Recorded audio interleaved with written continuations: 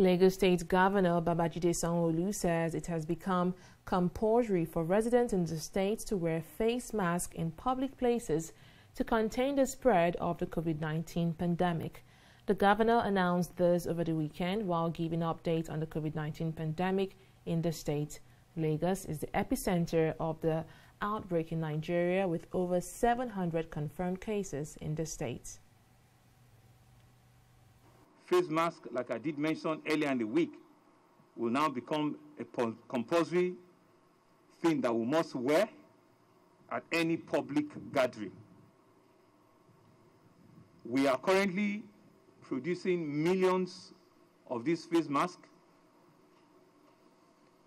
from our various tailoring companies, and it presents a great opportunity for businesses, for all these small medium scale businesses to contribute to COVID 19. And it's also a chance for them to make good of their businesses and to earn some money.